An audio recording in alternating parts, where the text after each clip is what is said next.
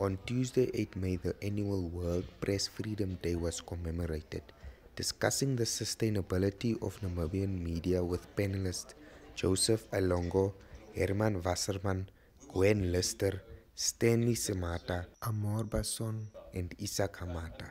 According to research findings released at the commemoration, falling advertising revenues, social media platforms, and exodus of senior journalists are some of the factors contributing to the decline of traditional media enterprises. Lecturer at NUST, in the Communication Department, in the media section. One of the most critical things about journalists is, is information.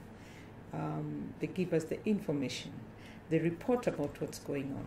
But there's also a second part of me that is also very critical, and that in, involves what is the responsibility of, of, a, of a journalist? Be free to write more other stuff, man. but write stories about real life also, you see. We need a bit of inspiration over here. You check what I'm saying? Okay, with press freedom. Simple, tell it like it is. Number one, it's a golden rule. You have to. Just tell it like it is. We are, we are living in an era of fake news.